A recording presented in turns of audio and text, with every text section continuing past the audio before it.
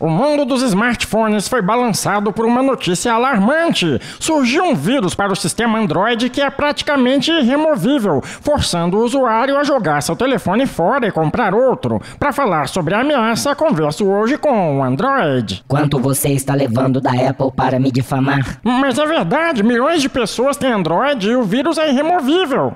O vírus não é tão perigoso, ele só faz aparecer propagandas indesejadas. Isso é horrível. Do jeito que você está falando, parece que todos os androides estão contaminados. Calma, sem pânico. Bom, já que você diz.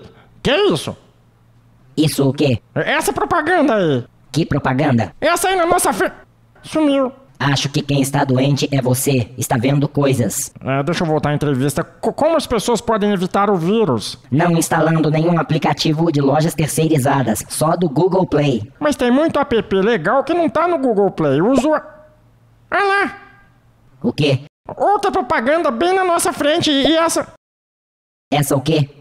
Sumiu. Toby, não havia propaganda nenhuma. Havia, havia sim, e baseada nas minhas buscas, porque tava me oferecendo solução pra calvície. Você pesquisa solução para calvície? Sim, qual o problema? Então, se as propagandas se baseiam em busca, você também pesquisa aumento peniano. Se, não, eu nunca. É, como é que você sabe? Você viu a propaganda Aumente seu pênis? Você infectou o meu programa.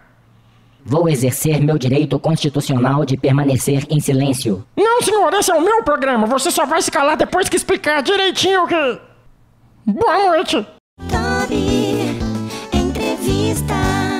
Esses anúncios não eram pra mim. Eu sei. Esse programa não vai ao ar, tá? Acha outro entrevistado pra sábado. Fica tranquilo, Toby. A gente não faria isso com você, faria, Fred? Não, não faria não. Fernando, a gente faria isso com o Toby? Não, não, imagina. Tony, o que, que você acha? De maneira nenhuma.